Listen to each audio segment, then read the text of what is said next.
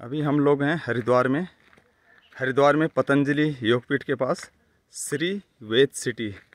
Shri Ved city Haridwar Patanjali से मात्र दो किलोमीटर की दूरी पे ये साइट है।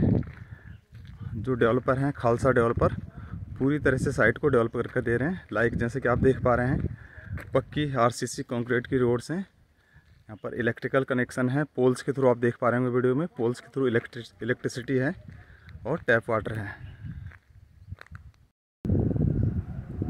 ये पूरा ये खालसा डेवलपर्स का ऑफ़िस है। ये पूरा गेटेड सोसाइटी है, जैसे कि आप गार्ड साहब को देख पा रहे होंगे।